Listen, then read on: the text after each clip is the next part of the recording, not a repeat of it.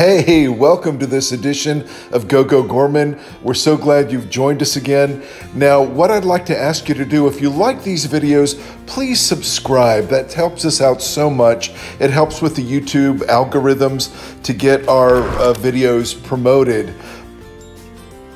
In this episode, I'm going to take you to seven of my favorite family travel vloggers. I love to get information from these guys, and I'm going to take you there in only two and a half minutes. Here at Go Go Gorman, we want to show you Orlando family travel information, but so much more. We want to hit places like Dollywood, Busch Gardens, Williamsburg, Jamestown, lots of different places for you to go to. First up is Tim Tracker, just an amazing guy. He's very personable. His lovely wife, Jen, they get out incredible information about Disney, Universal. They travel all over the world to bring you family travel information.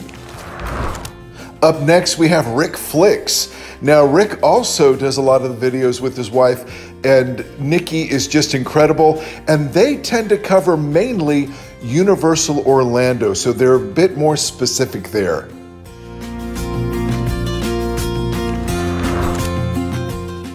Next up at Theme Park Stop, we have the amazing Alicia. Her voice is hypnotic. It's incredible. And she gets out very interesting information looking at building permits sometimes.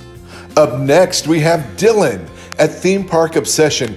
Dylan is a great guy. He's got so much incredible energy. He hits the Orlando parks, Disney, Universal, hits them on the West Coast.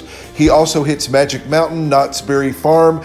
And for Dylan, his favorite thing to cover is Halloween. Just a wonderful, wonderful guy. Up next, we have Kevin Heimbach. Now, the interesting thing about Kevin is he used to be a Disney cast member. His humor is hilarious. He makes me laugh and laugh and laugh. You've got to check out his site. Next, we have Braden at Mickey Views. Uh, Braden is very talented. He's very wise. He's got like a news set and he gives out very interesting information about all the parks, Universal, Disney in the Orlando area. Last but certainly not least is Jack at DSNY Newscast. DSNY, of course, standing for Disney. Jack has got some very incredible information that he gives about the Disney parks, about a lot of different Imagineering concepts that he comes up with. Jack is incredible.